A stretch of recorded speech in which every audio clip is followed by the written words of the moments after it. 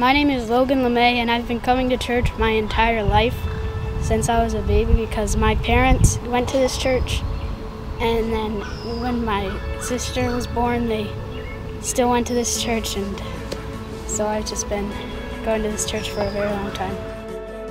When I was about like seven years old, it was after Sunday school time where they did a cumulative prayer for everybody that didn't accept Jesus into their uh, heart.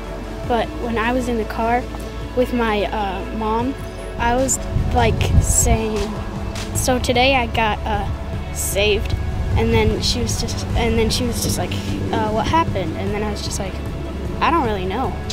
And so that's when she was just like, "Do you want to do it right now?" And then I was just like, "Yeah." And so pulled over, and she's just like, "Do you believe that Jesus is uh, real and that He died on the cross for to save you from your sins?" And I said yes, and then uh, we prayed, and after that day is when I really felt that I was saved. I'm Logan LeMay, and today I'm getting baptized.